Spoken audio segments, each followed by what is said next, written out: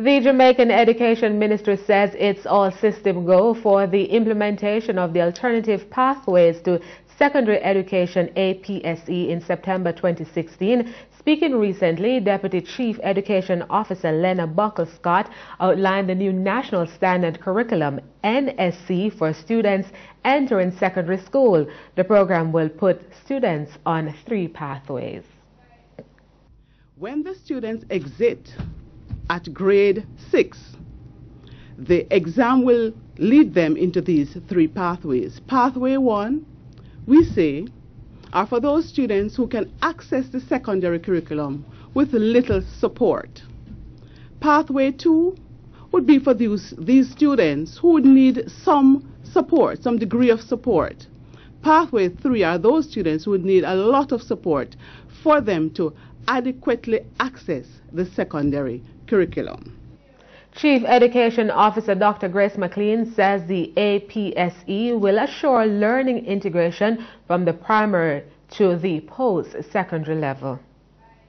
Now, the alternative pathway for secondary level education will see a full alignment of the education system from the primary level, which has the national assessment program, being aligned to secondary, which is the alternative pathway for secondary level education, as well as the assessments that will accompany this approach.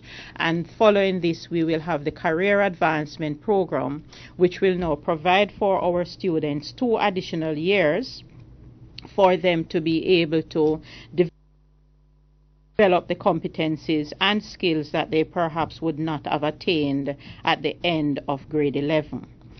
It should be noted that the two additional years of schooling will only be applicable for those, those students who need this additional support. So there will be some of our students who would not have passed any of their subjects, whether it is in City and Guilds, CVQ, NVQ, or CSEC, or there may be some of our students who would have attained two subjects, or three subjects, or one subject, and would need this additional support. So the Career Advancement Program, which is considered to uh, which is really for those students who need the additional support, will be expanded in September 2016.